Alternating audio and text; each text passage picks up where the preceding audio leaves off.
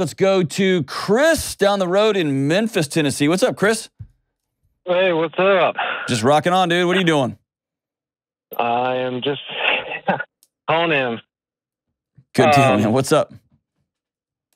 So I'm having a problem with communication with my wife, and not in the way of being able to express our needs with each other and be, being able to fulfill them, but in the way of just having a friendly conversation, be able to, to hold conversation and just having something to talk about. Like if I had a friend come into my car and we're driving 30 minutes down the road, like we'll talk all the way until we get to destination B, but I feel like a lot of times with my wife, I don't know if there's just nothing to talk about, or I have just so much stuff running through my brain that's work, or it, it's just it's starting to cause a problem with connection. Why? Why have you put that expectation that you have to talk everywhere you go? No, it's not. I'm not saying that all the time we need to talk, but it has become a problem to where there's just not enough talking. Like we're just sitting too much, or I'm not communicating with her enough, just being a friend to her. Hmm. Why are you choosing that? I don't know. I don't know if it's it if it's just my mind is consumed with work or Yeah, but um, like, I, I- feel like there's nothing to talk about, or I, I don't know. no, it's not one of those two things because both of those are choices. So I'm, I'm looking for the question beneath that question because everybody I know works really hard and they could, if they wanted to, let their minds be consumed with work all the time. And there's a few days out of a month that my brain is super consumed with work. Um, and that's just part of being a human and being alive. But there are days when I can choose. I'm just gonna keep thinking about work, keep thinking about work, or I'm gonna choose to think about and talk about my wife, talk to her about our home, about our family life, and stuff like that.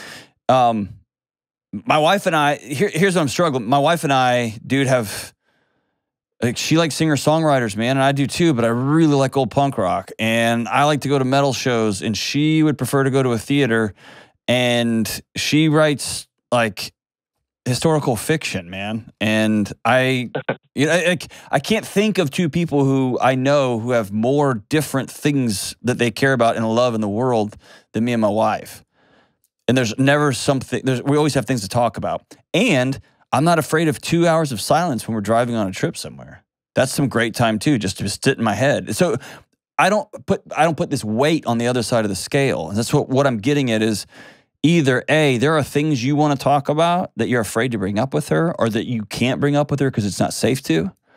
There's something you want to tell her and you don't want to do it.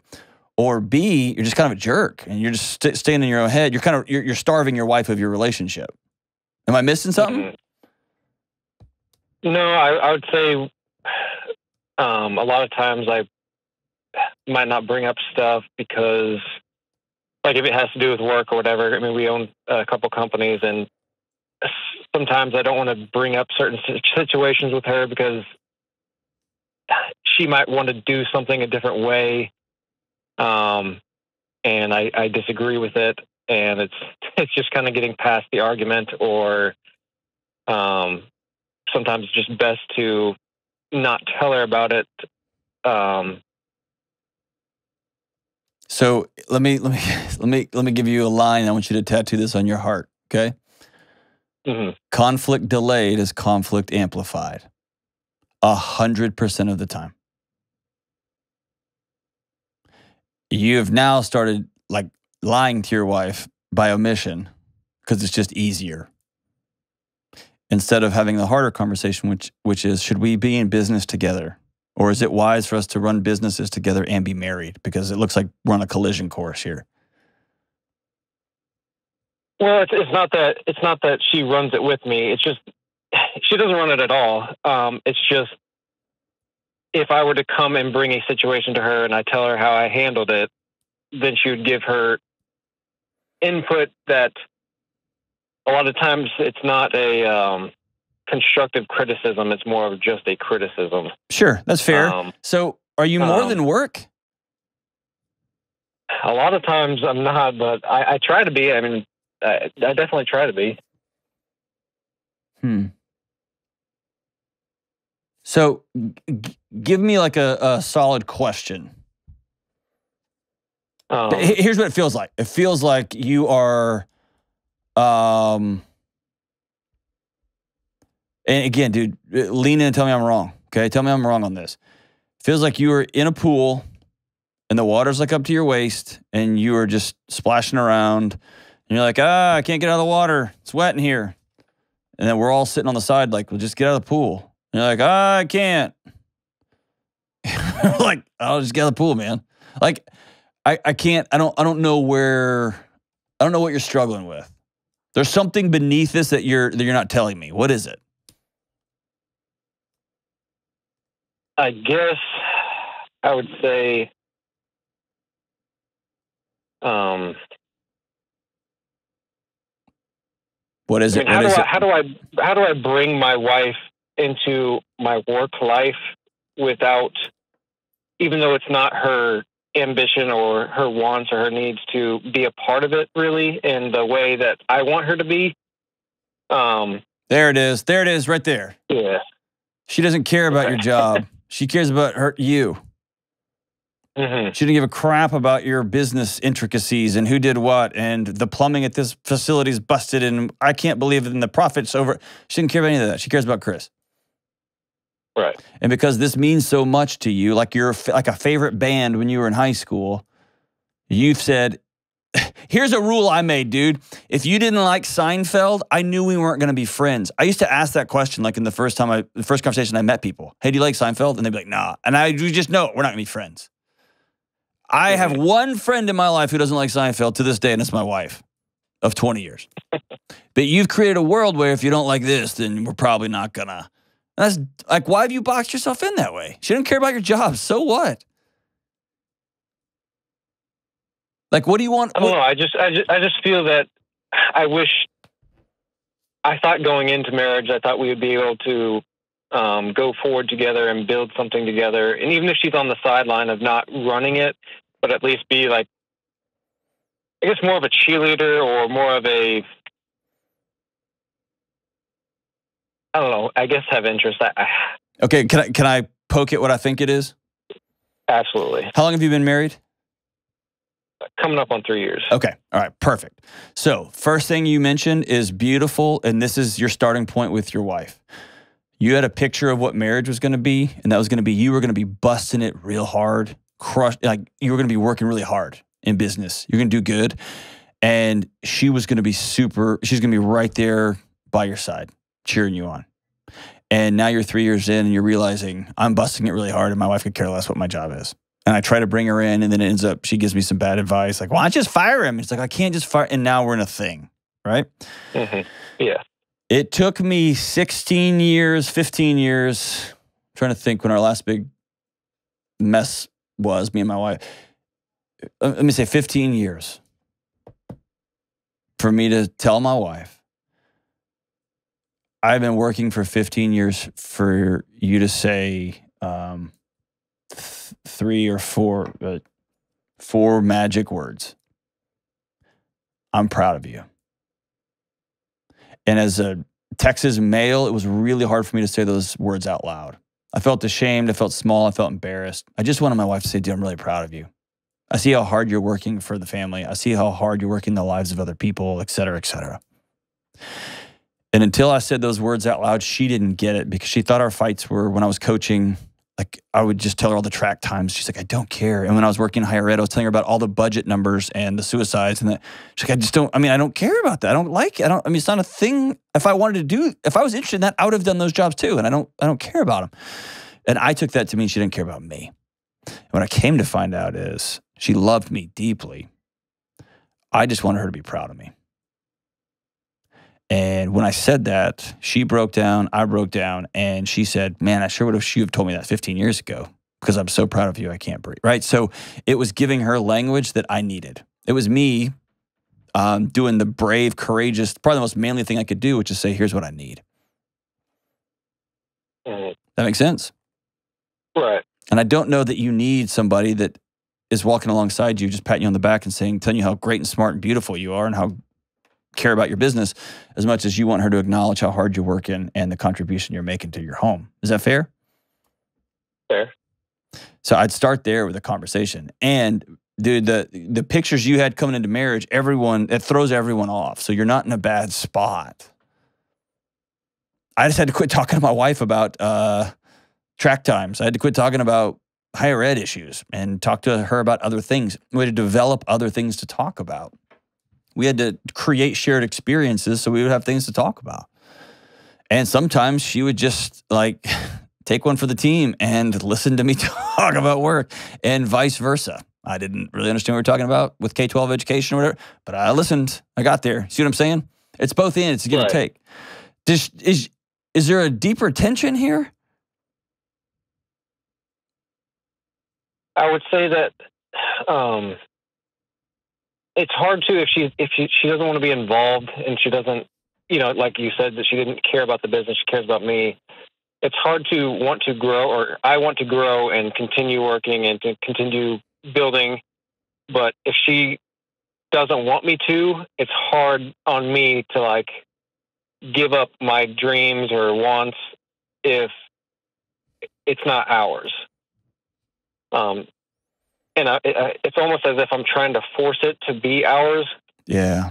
And I think so it, that's like devastating to me because it's all I've really ever wanted in my entire life. Was um, what? Was what? Was what? Uh, just building a, a, business and growing a business and. It, so has she told you I don't want you growing a business? Growing it more than what we have. It, um, Normally, that conversation is I miss my husband. Like, yeah, right. That's exactly what it is. And I think I've told this on the podcast. If I haven't, shame on me. It was this year that my wife held my face and said, John, we have enough. Stop. I need you. And I'm thinking, yeah, but I need more of this. I need to write another book and I got to get this thing out. And I got to get, I'm going on a tour. I've got to go hit the road. And she said, we have enough. And I had to drop my shoulders and ask myself, am I chasing ambition? Am I chasing ego? Or am I trying to give my family a better shot? Yeah. And that was me looking in the mirror. It had nothing to do with my wife. In fact, she was the one that just called it out. Said, from this point forward, any more hours you work, any more money you make isn't for us. It's to feed your own whatever you're trying to solve. And that was a hard thing for me to hear, but she was right. And by the way, it's not mutually exclusive. What I've done now is I haven't really throttled back that much, but I have had to speak my needs and be more firm at work and set up boundaries at work. And I've been much more clear at home little things like putting my phone down, leaving my social media phone here at work, doing some things that just create some space at home so that when I'm there, I'm fully there and I'm not thinking about the business all day. As a young business owner, building a business can take your life over and it can take your soul over. And I've done the research and sat with folks who have done that for 50 years and they're 60 and they're th- and they think, "Oh, I gave up everything. I have no memories. I've got no kids, or I've got two kids that don't like me. I've got a big bank account, and I've got nothing. And so the work is not giving up one or the other. Don't back yourself into a corner that way. But it's saying, what does growing the business look like? And what does really swan diving um, into the relationship with my wife look like? Those aren't mutually exclusive. They're to come at, they're to, they're to be a teeter totter. It's to be a balance. And she's dealing with, a, with that picture from the other side too, right? She had a picture of a marriage where at five o'clock every day, Chris would come home and we would talk and laugh and, and her picture is going to be different too. That's where where you start is y'all go on a retreat together. You've heard me say this a million times. Go on a retreat together and say, "Hey, we're three years in. We have different pictures. Let's create a unified single picture and let's work towards it together." And that's going to be you giving up some stuff and her giving up some stuff and both of you getting some great things together. And then we're off to the races. Do you see what a different view that is? Yeah. Can you do, do you think you can do that? Or you think your wife is saying, I want you to quit this business and go do something else? No, she doesn't want me to quit or anything, but it's just she wants the growth to stop. But what is the growth costing her? Um, it costs her the, I guess, mental stress on me when I come home. Okay. Um, you so hear what that be, means. You are not telling, you're not hearing her words correctly. Her words are not telling you to stop working on the business, even though that's what she said. Her words are, I'm watching the man I love die in front of me and call it his dream. I'm watching the man I love, the man I stood before our friends and family and said, I'm all in forever. I'm watching him slowly drown in front of me and say, Look how happy I am. That's what she's saying, Chris. So how do I get past my my de- desires, my It's not both and. Grow the business and decide that next year you're going to make 30,000 fewer dollars and you're going to hire an assistant that's going to take care of X and Y and Z. Decide next year you're going to make 65,000 less dollars and hire a senior manager that's going to run the ship for you. Put on an all an on-call staff so that at five o'clock, only three people call you, and that's if something is on fire, or somebody's dead. Everything else can work till tomorrow. This is about um, a young business owner running a new business, trying to grow it, and having no boundaries. And what you're going to find is two important, cool things. Number one, this thing will keep going without you hovering and breathing over it every second. And number two, when you have time to think and time to have great wild evenings with your wife and y'all go do fun stuff and like each other and have fun and you develop that relationship, you're going to be a thousand times better back on the ball field. Mhm.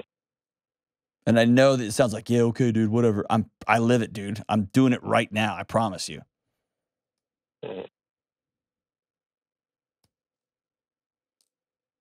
I think it starts with this. I think it starts with you taking your wife out and saying, over the last three years, I have been cheating on you with my business. And I have told you you're my priority, but my behavior is a language. And what I've demonstrated to you is the most important thing in my life is building this business.